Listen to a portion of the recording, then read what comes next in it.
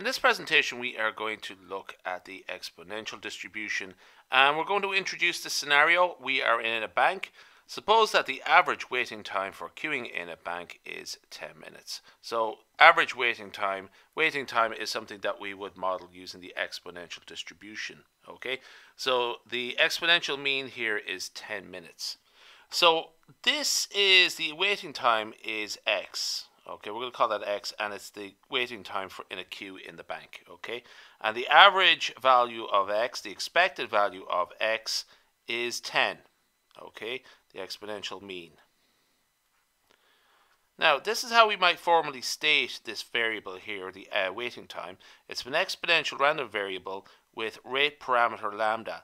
And the rate parameter lambda is equal to 1 over mu, where mu is the mean duration, the mean waiting time essentially. So mu here is equal to 10. That means our rate parameter is 1 over 10. Now two useful formula here. This is one is the survival function and the cumulative distribution function, which is essentially 1 minus the survival function. Okay, this the cumulative distribution function is probably what a lot of people are more familiar with when they are starting out in probability distributions. But the second one, the first, uh, this one here, the survival function, will start to pop up after a while as well.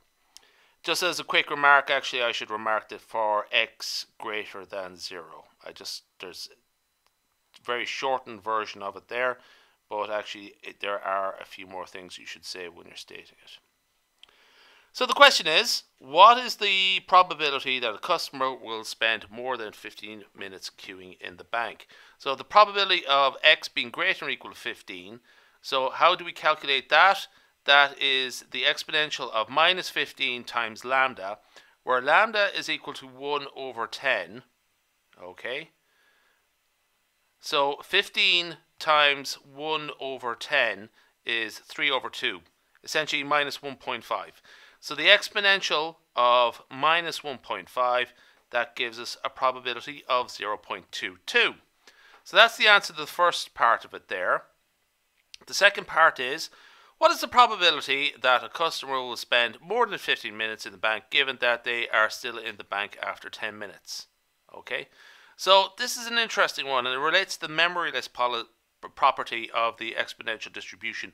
But I'm just going to sort of take it uh, as is. Okay, now it actually should work out that it is probability of x greater than or equal to 5. Okay, it's a sort of just the difference beyond 10 minutes.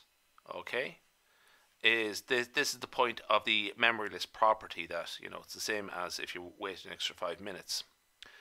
So, probability of x greater than or equal to 15 given that x is already greater than or equal to 10 essentially the, how we calculate that is a conditional probability. Probability of x greater than or equal to 15 divided by the probability of x greater than or equal to 10 we already have calculated the probability of x greater than or equal to 15 so all we have to do is also calculate the probability of x greater than or equal to 10 which is essentially 10 times 1 over 10 is e to the minus 1 Okay, so when you divide e to the minus 5 by e to the minus 1, you should get e to the minus 1 half.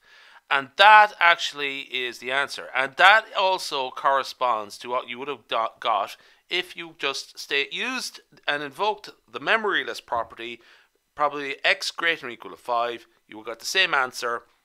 I, both approaches are fine, but that gives you 0.604. And just as a quick remark, in case you didn't catch what I said about the memoryless property, does, do, do I mean that? Yes, I do. You can Google that. Look that up on the internet. Okay, that's good. We'll leave it there.